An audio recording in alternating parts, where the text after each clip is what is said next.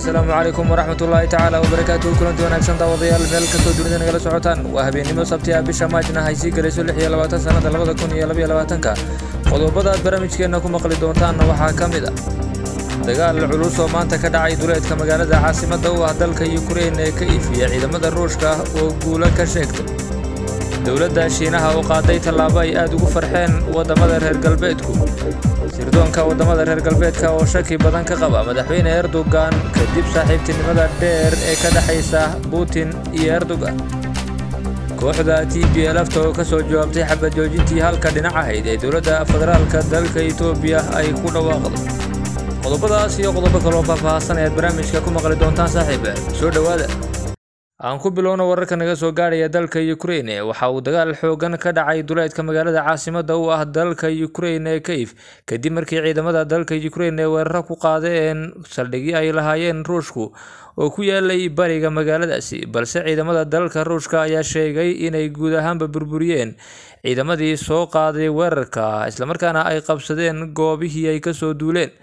taasi ayay la micno tahay in ciidamada ruushku ay ku soo dhawaadeen caasimadda dalkaasi yukrain ee kayf howlgalka ciidamada dalkaasi yukrain ay fuliyeen. Aroornimadii hore ee saaka ayay ku sheegeen ciidamada ruushku in ay kala kulmeen jab xoogan. Ma jirto wax hora oo ka soo baxay dhinaca dowladda dalkaasi yukrain oo beeninaya sheegashada waddanka ruushku uu ku sheeganayo inuu dagaalkaasi guulo muhiima ka gaadhay. Ciidamada ruushka ayaa sheegay inay ku siqeen dhinaca caasimadda islamarkaana ay ku sii dhowaanayaan bariga magaaladaasi weyn ee caasimadda u ah dalka yukrain koonfurta magaalada ayay horay aada ugu soo dhawaadeen ciidamada ruushku waxaana halkaasi guud ahaanba dadka degan caasimadda dalkaasi yukrain ee kayf ay sheegayaan in rasaasta la isweydaarsanayo ay maqlayaan ciidamada dalka ruushka ayaa hareereeyay magaaladaasi caasimadda u ah dalka yukrain waxyar kadib markii ay duulaanka ku qaadeen dalkaasi yukrain balse ciidamada ruushku waxa ay duleedka magaaladaasi ku sugan yihiin muddo ku dhow bil. Mana jirto wax cadaymaha oo xilligan muujinaya in ciidamada ruushku ay diyaar u yihiin inay gudaha magaaladaasi galaan caasimadda dalka yukrain ee kayf ayaa horeyba isugu diyaarisay dagaal waxaana magaalada xilligan ku sugan dad yar oo doonaya inay magaalada difaacaan oo keliya. Shacabka intiisa badan waxay isaga carareen magaaladaasi dhinaca kale ee dagaalo goosgoosa ayaa weli ka socda magaalada marybol ee ku taala koonfurta dalkaasi yukrain kadib markii ciidamada dalka ruushku ay sheegeen inay soo gabagabeeyeen howlgalkii magaaladaasi balse dowladda yukrain ayaa sheegtay in ciidamadeedu ay weli ku dagaalamayaan magaalada islamarkaana maamulkii magaaladaasi guud ahaanba ay ku sugan yihiin meel ka mid ah magaaladaasi ciidamada ruushka ayaa horey u sheegay in ay isa soo dhiibeen intooda badan ciidamadii dalkaasi yukrain ee ku sugnaa magaaladaasi balse ay jiraan kooxo yar oo fallaaga ah oo dowladda dalka yukrain ay ku qadhaabanayso guud ahaanba dalka yukrain waxaa weli ka socda duqeymaha xooggan ee ciidamada dalka ruushku ay ka fulinayaan bartilmaameedyo kala duwan oo ku yaalla dalkaasi yukrain howlgalladuna waxay u dhacayaan si isdabajoog ah. Magaalada kharkif ayaa laga soo sheegayaa in duleedkeeda ay ka dhaceen duqeymo xooggan oo ciidamada ruushku ay halkaasi ka geysteen. Mana jiro wax ilaa iyo hadda ka soo baxay oo sheegaya khasaaraha ka dhashay duqeymahaasi ay geysteen ciidamada ruushku bartilmaameedyo dhowr ah ayay duqeeyeen ciidamada ruushku maanta kadib markii ay sheegeen inay dardargelin doonaan weeraradooda maalmaha soo socda. Ciidamada dalka yukrain oo helay hub casri ah iyo weliba saanado fara badan oo uga yimid dhanka waddamada reer galbeedka ayaa doonaya inay culayska ka dulqaadaan magaalada caasimadda u ah dalkaasi yukrain ee kayf balse waxay u muuqataa in xaaladdu ay ku adag tahay ciidamo fara badan oo ruush ah ayaa magaalada lagu soo kordaadiyey waxaana dowladda ruushku ay saareysaa xoogga ugu badan. Caasimadda dalkaasi yukrain ee kayf oo ay ku goodoonsan yihiin madaxu ugu sarreeyo madaxweynaha dalkaasi valadimir selaniski oo ruushku uu doonayo in uu talada ka tuuro waddamada reer galbeedka ayaa weli cunaqabatayno la daba taagan dowladda dalkaasi ruushka bal inay dib uga soo laabato duulaanka ay ku qaaday dalkaasi ukraine. Balse ma jiraan wax muujinaya dowladda ruushku inay qorsheynayso in xilligan ciidamadeeda ay dib ula soo laabato. Waxaana dad fara badan oo ku nool gudaha dalkaasi ruushka ay ku eedeynayaan dowladda ruushka in ay horeyba ugu degdegtay duulaanka dalkaasi ukraine. Balse xilligan loo baahan yahay inay guul la taaban karo ka gaadhaan dagaalkaasi iyagoon guushaasi gaadhin ah aanay u muuqanin kuwa soo laabanaya.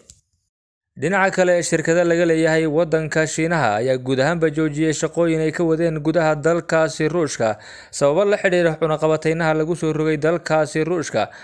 Tallaabadaas ayaa u muuqata mid ay dabada ka riixayaan waddamada reer galbeedka iyo cadaadiska ay saarayaan dalka ruushka oo sii xoogeysanaya waxaa la ogyahay in dowladda shiinuhu aanay caddaynin weli mowqifkooda ku aadan duulaanka uu ruushku ku qaaday dalkaasi ukraine. Mana jirto wax cambaareyn ah oo ka soo baxday dowladda dalkaasi shiinaha oo ku aadan duulaanka ruushka. Waxaana waddamada reer galbeedku ay in badan isku dayeen inay kala reebaan shiinaha iyo ruushka taasi oo ay u muuqatay mid ay waddamada reer galbeedku ku sii hungoobayaan balse tallaabadan ay qaadeen shirkadaha laga leeyahay dalkaasi shiinaha ayaa u muuqda kuwo farxad gelinaya dalalka reer galbeedka oo doonayay inay mar uun labadaasi wadan ee shiinaha iyo ruushka ay dhex dhigaan carqalad xoogan inkasta oo dowladda shiinuhu aanay weli wax tallaabo ah u qaadin dhankaas islamarkaana aanay weli mowqifkeeda caddaynin oo tallaabo ay ku taageerayso dalkaasi ukraine iyo reer galbeedka aan laga arkin. Haddana waddamada reer galbeedka ayaa niyadda ku qaboojisanaya tallaabooyinkan ay qaadayaan shirkadaha laga leeyahay dalkaasi shiinaha haatan aan eegno sirdoonka waddamada reer galbeedka oo baadhaya saaxiibtinimada qotada dheer ee ka dhexaysa madaxweyne erdogan iyo weliba valadimir putin waxaana waddamada reer galbeedku ay ku wareersan yihiin in labadaasi nin ay xilligan colaad soo dhex gashay iyo inay weli hoosta iskala jiraan.